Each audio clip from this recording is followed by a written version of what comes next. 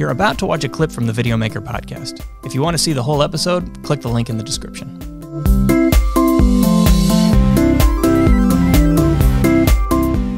If you had um, uh, one like YouTube secret for for our viewers and listeners about how they could better run their their YouTube channel, aside from uh, the the sort of common um, thing that we get, which is you know be yourself on camera or whatever it was. Upload every day. Yeah. Um, what, what what's your secret? What's your one secret to YouTube success?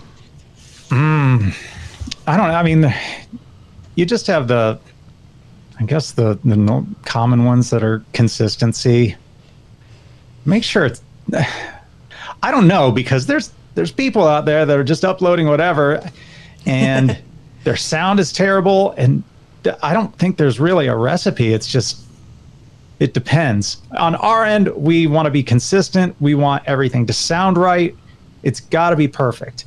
And if it's not, and you upload something and there's a black frame in there, like Oh, no. you'll hear it for days.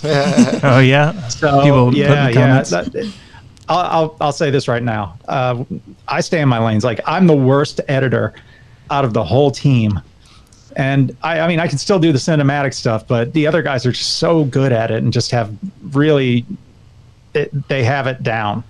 Um, but if there's a questionable decision from anyone, and this keeps everybody on their toes, it's it's like you have to bring your best. So, I, and I guess that's it. Just uh, do your best work when no when you think no one's looking. You know, huh? And go. make sure it's consistent. I guess right. So y- consistency. obviously you're. And, uh, go ahead. And, I, and, and one more thing, uh, be be engaged. I see people upload videos all the time, and I don't see any comments from them uh, within the comments or on Twitter or or on Facebook. And I look at social media differently. I look at Facebook as a billboard, uh, Twitter as a conversation, Instagram as behind the scenes. So you have with Twitter, it's all these short conversations. I think the engagement there, it all flows. Um, you know, really nice between all mediums.